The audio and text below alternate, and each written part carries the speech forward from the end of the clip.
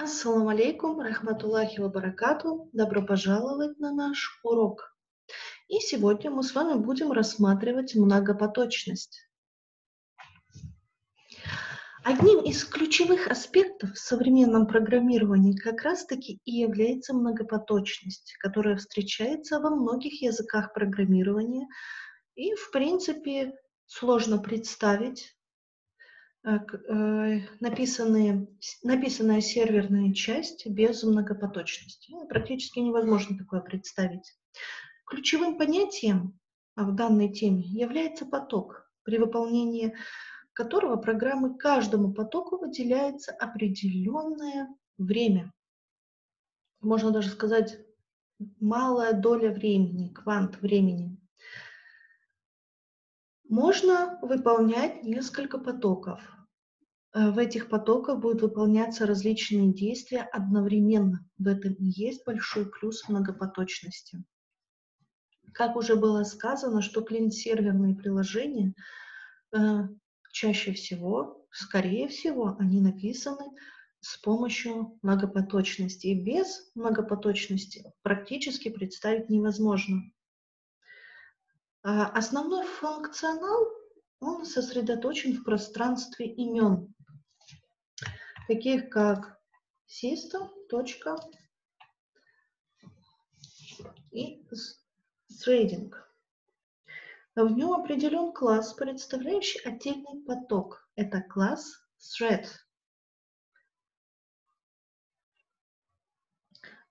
В таком классе есть ряд методов и свойств. Давайте рассмотрим основные свойства этого класса.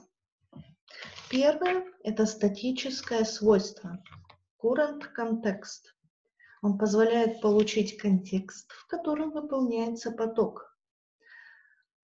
Статическое свойство current thread возвращает ссылку на выполняемый поток. Такое свойство, как из alif, указывает, работает ли поток в текущий момент.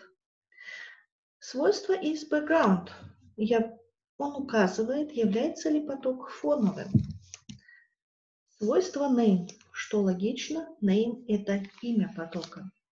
Свойство priority хранит приоритет потока. Свойство thread state возвращает состояние потока.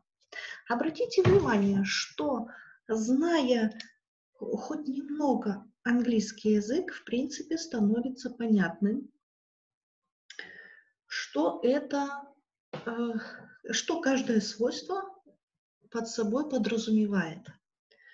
Итак, давайте рассмотрим еще некоторые свойства этого класса. Методы, не свойства, методы. Итак, у нас с вами есть такой статический метод, как getDomain. Он возвращает ссылку на домен приложения.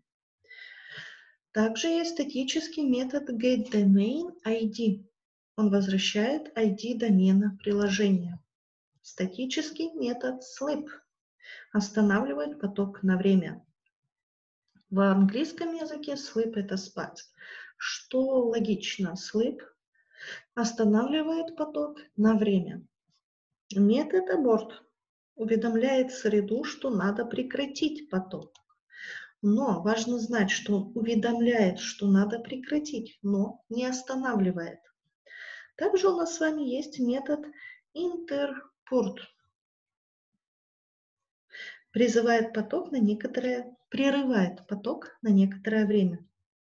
Метод join блокирует тот самый поток на какое-то время.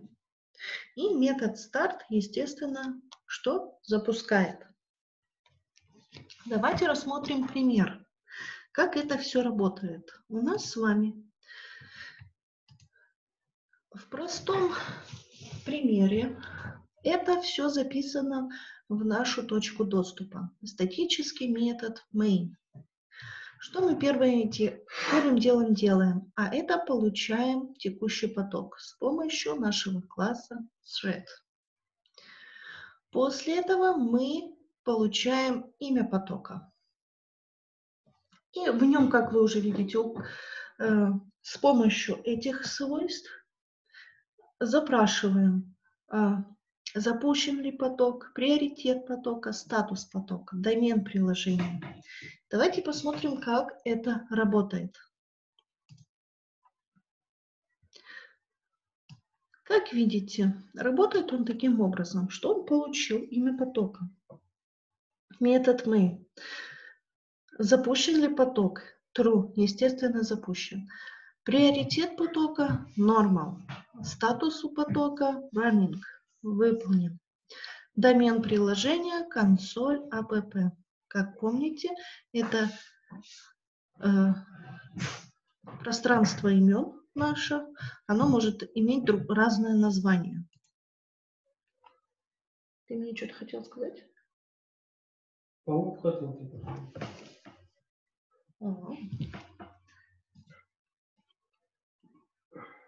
Итак, вот таким образом работает наша информация о потоке. Что характерно, этот, с этим потоком можно работать а, в больших программах, можно управлять этими потоками, а, ставить целые деревья, можно так сказать, целые цепочки, что если а, одна, одна инструкция будет выполнена, тогда будет поток останавливаться или приостанавливаться, пока не выполнится другая инструкция. Или если запускается одна инструкция, сразу же с ней запускается несколько потоков. И в таком же духе.